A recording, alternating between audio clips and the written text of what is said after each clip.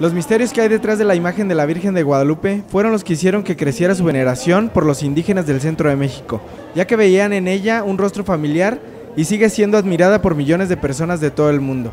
Toda ella es un códice, códice pictográfico, un libro abierto que supieron leer muy bien los indígenas, no así los españoles, los colores, la luna, las estrellas, el sol, eh, las flores que tienen su vestido, la manera en que incluso está parada en forma como danzando, se le ve así como una rodilla flexionada.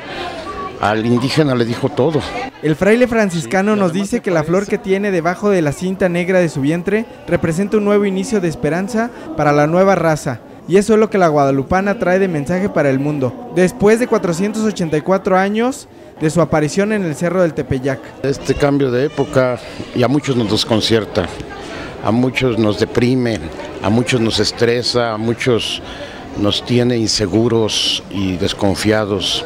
El sacerdote señaló que en esta época de incertidumbre es necesario recobrar la fe y la hermandad para ser un pueblo tolerante y reafirmar el respeto hacia el prójimo para poder salir adelante de todos los problemas sociales. Para Cuasar TV, César Hernández.